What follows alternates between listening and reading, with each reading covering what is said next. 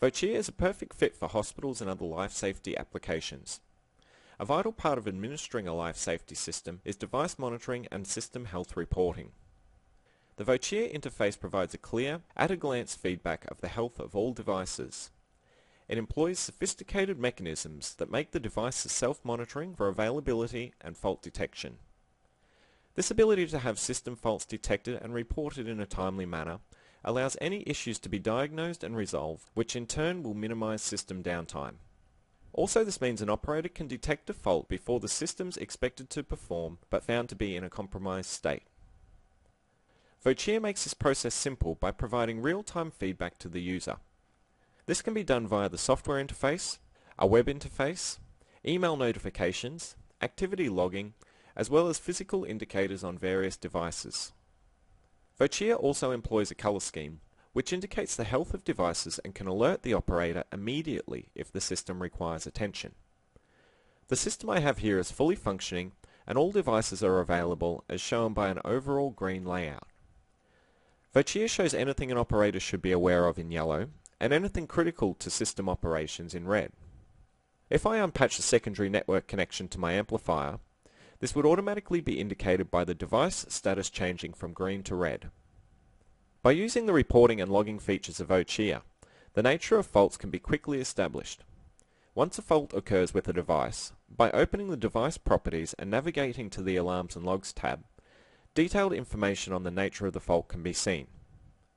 Devices in a Vocia system are monitored right from the microphone capsule to the output of the amplifier and can even be monitored right through to the end of the speaker line using an ELD1 end-of-line device.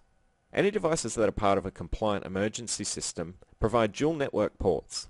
That way if one interface becomes unavailable, the emergency system is not compromised before the fault can be resolved.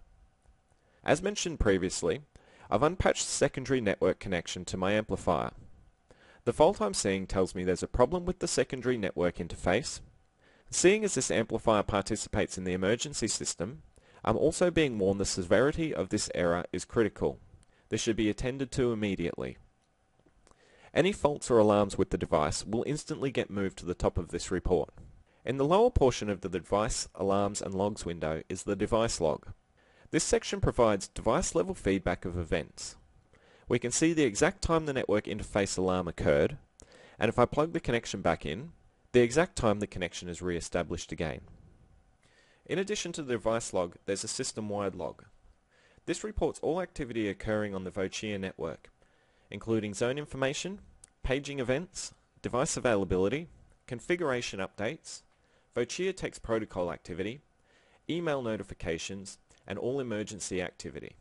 Again we can see where the secondary connection to the amplifier was first reported bad, and then when it came good again.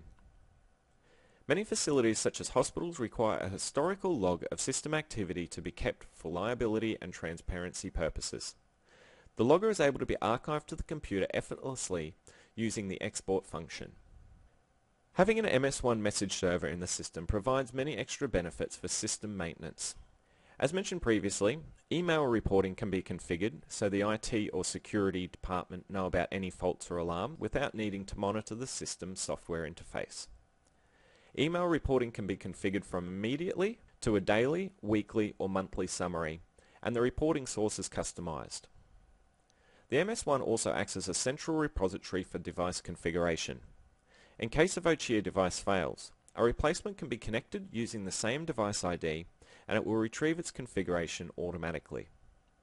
This makes device replacement a simple and extremely fast process in regards to monitoring emergency devices in a Vocia system. The LSI16 Life Safety Interface has a built-in web browser.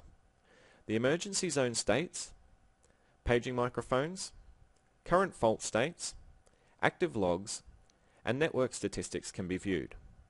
Once a route to the LSI16 network is configured, the potential to remotely monitor the emergency system from a browser-enabled phone, tablet, or a computer is possible.